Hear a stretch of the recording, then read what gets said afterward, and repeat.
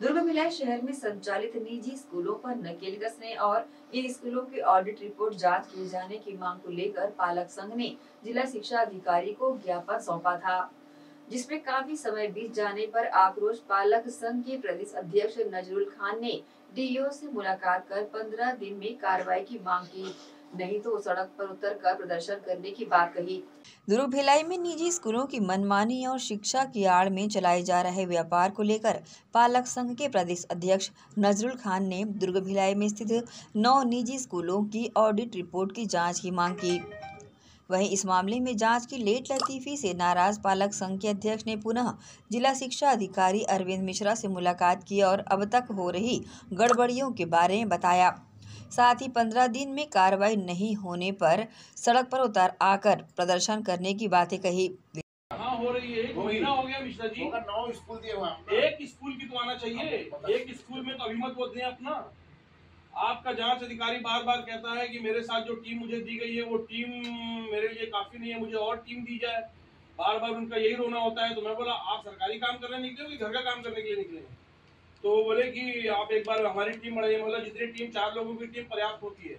और एक स्कूल की जाँच करने में आपको मैक्सिमम दो दिन लगेगा, ज़्यादा करके एक दिन। आपको मैं उनको जाँच का भार नहीं पता आपको क्या करना है? स्कूल में बच्चों की दर्ज संख्या है, क्लास वाइज आपको बताना चाहेंगे कि विद्यालय विद्या का मंदिर होता है जहाँ शिक्षा का प्रसाद परोसा जाता है, ताकि समाज और राष्ट्र का नव निर्माण कर राष्ट्र हित में काम किया जा सके। लेकिन हैरानी की बात तब हो जाती है जब यही विद्या के मंदिरों में शिक्षा के प्रसाद का मोटी रकम पालकों से लिया जाए।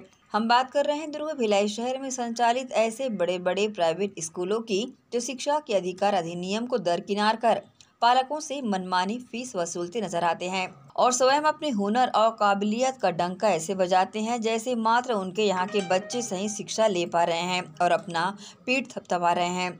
इस दौरान जिला शिक्षा अधिकारी अरविंद मिश्रा से नौ प्राइवेट स्कूलों में जाँच की मांग की और उचित कार्रवाई किए जाने को लेकर नजरुल खान ने बताया कि जाँच अधिकारी स्कूल संचालकों के साथ होटल में बैठकर जाँच रिपोर्ट तैयार कर जिला शिक्षा अधिकारी को पेश किया गया, जो कि एक तरफा ही रिपोर्ट तैयार की गई। जिसको लेकर जिला शिक्षा अधिकारी अरविंद मिश्रा और पालक संघ के अध्यक्ष नजरुल खान ने प्रतिक्रिया दी। नौ प्राइवेट स्कूल के संबंध में जो हमको शिकायत प्राप्त हुई थी, उसकी जाँच जारी है, चार लोगों की एक समिति बनाई गई है, और वो सभी स्कूलों में जाके जो शिकायत है, उन बिंदुओं की जाँच कर रहे हैं। विभाग द्वारा किसी प्रकार की लापरवाही या ढिलाई नहीं की जा रही है। यहाँ पर चूँकि नौ स्कूल का मामला है, और विस्तृत जाँच है, जाँच के जो बिंदु हैं और जो जाँच अधिकारी हैं, उनको अपने विद्यालय को भी देखना पड़ता है। किसी तरह का कोई दबाव नहीं है। शिक्षा के अधिकार के, शिक्षा के अधिकार अधिनियम का कोई भी दुरुपयोग करेगा उसके खिलाफ सख्त कार्रवाई करें। अभी जाँच रिपोर्ट किसी का प्राप्त नहीं हुआ है। एक साथ प्राप्त होने के बाद भी हम कार्रवाई ठीक।